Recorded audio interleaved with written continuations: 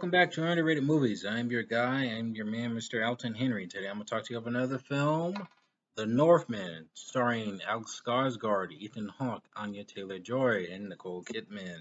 Released this year. It's a story about a man who's on a path of vengeance, non-stop bloodthirst vengeance, who's set during the Viking era. Maybe I should have researched more into the Viking part of this uh, recommendation of Alex Skarsgård's character, who is, I would say he's bent on revenge, but I feel like he is cursed to get revenge against his uncle for the murder of his father. Given through certain sequences, certain sequences through the film, I believe, from watching the movie.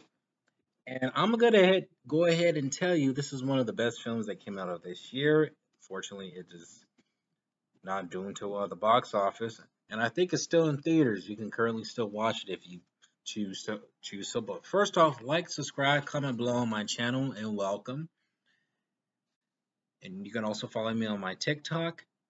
I don't have Twitter. I have Instagram, but onward with the review uh, and like, subscribe, and hopefully you put down what is your favorite underrated movies. Now, this is Roger Eggers' third feature, and this is more into the action adventure realm. This is an action adventure um, film, and it does have adventure. I would say this, and this is one of those.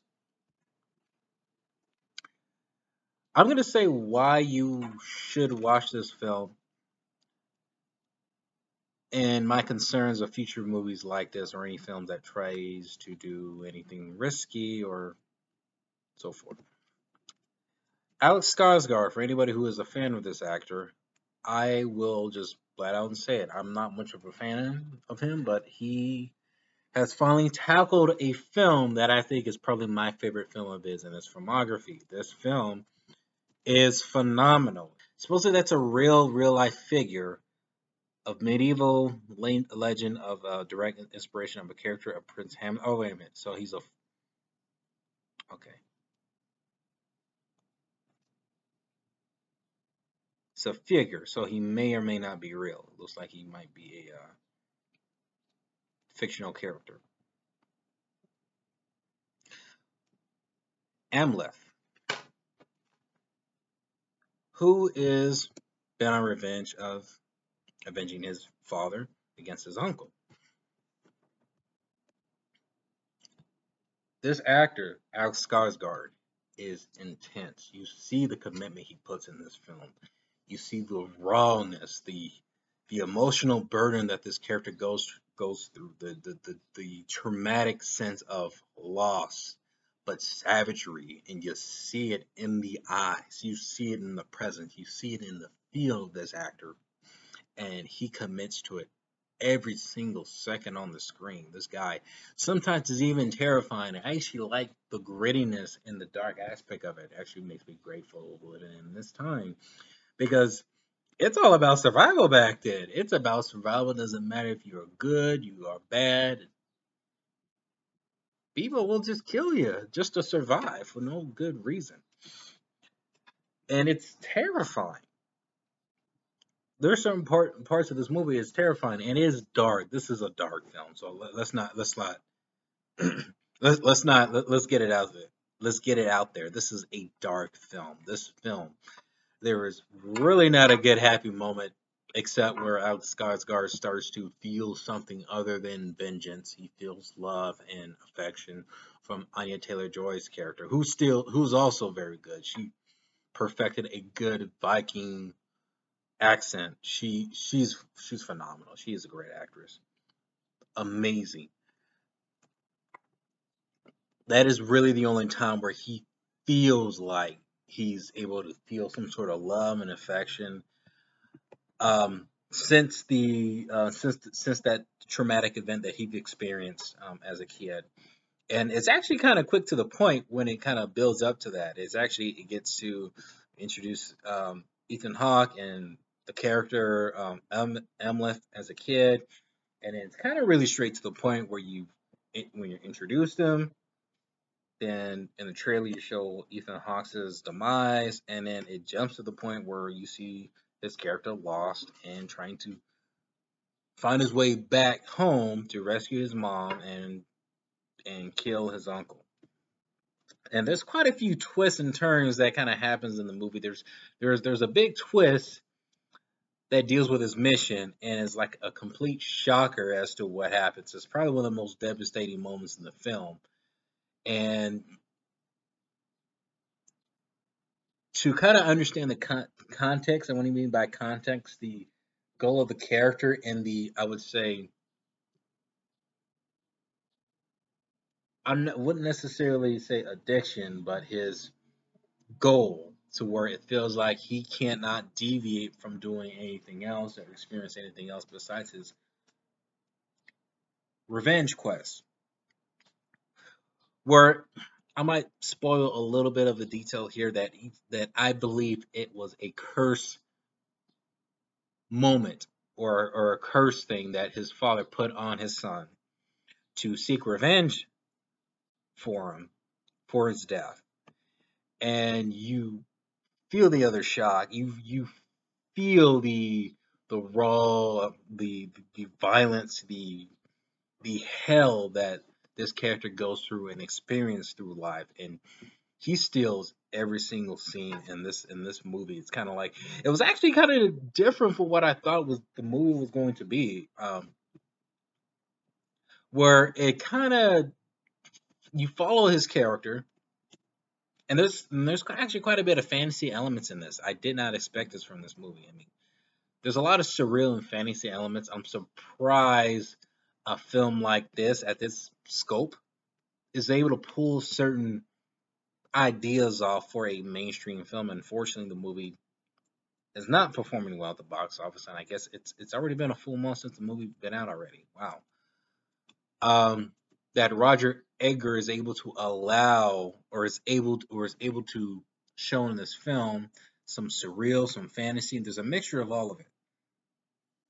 And I actually like something about this character that this character is not a good person. He's not. You you you you you see him first time as an adult go through this this assault and it's done in one take that he joins in on a group with a group of warriors to brutalize and invade and murder innocent people, women and children. And you see that. So this guy is not innocent. But you do feel for him that he is at a place where he lost his innocence as a child. So when you when he's reintroduced to his goal and you see that it's kind of somewhat of addiction and somewhat of something that he needs to fulfill and he can't deviate from this past, you do feel for him. You do feel for him. Like there is a moment where he makes a decision where he does fall in love with Anya Taylor Joy. He does have kids, a little of a spoiler. He is in a position of either can he forfeit his vengeance, his quest for vengeance, or live a life of peace. And you see, he, it's it's a struggle. It's like he can't make that decision to go the other way. He has to follow the path of vengeance. The movie's beautifully shot.